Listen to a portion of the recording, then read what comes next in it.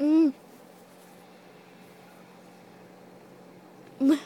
Ó, hvað sé kallt. Ég ætla að gera þetta aftur.